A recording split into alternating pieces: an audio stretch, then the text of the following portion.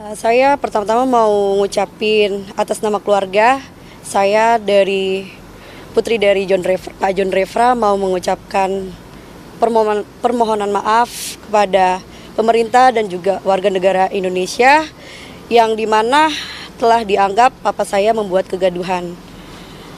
Uh, mengenai uh, berita yang ada di belakangan ini yang menyebutkan uh, papa saya uh, sama Opanus cukup apa namanya mengagetkan ya bagi saya. Uh, dan juga untuk apa namanya uh, kesempatan ini saya mau mengutarakan uh, saya sebagai anak sangat sedih di mana uh, saat saya jemput papa saya dari Nusa Kambangan itu saya mempunyai harapan yang sangat besar uh, mengenai perubahan papa saya sangat dahsyat.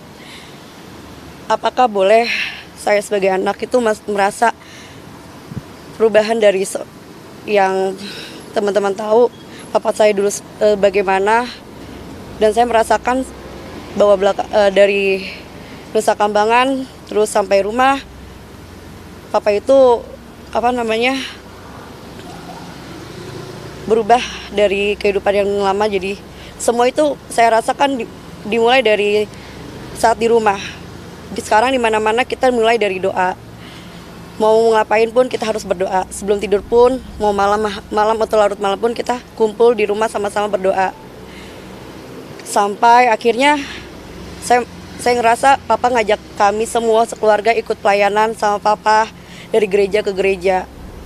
Jadi untuk menanggapi kasus ini saya saya merasa kaget uh, papa saya yang berapa dari Nusa Kambangan ini saya merasa udah berubah kok tiba-tiba dikagetkan dari kasus ini, berita ini.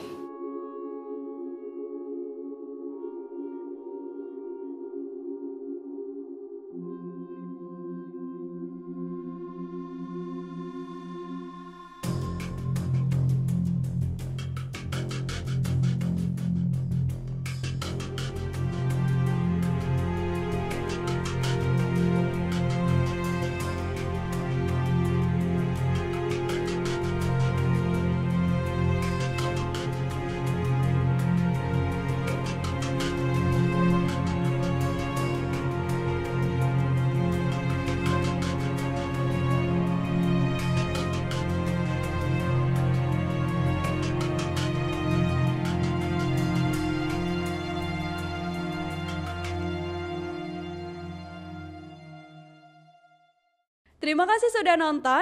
Jangan lupa like, subscribe, dan share ya.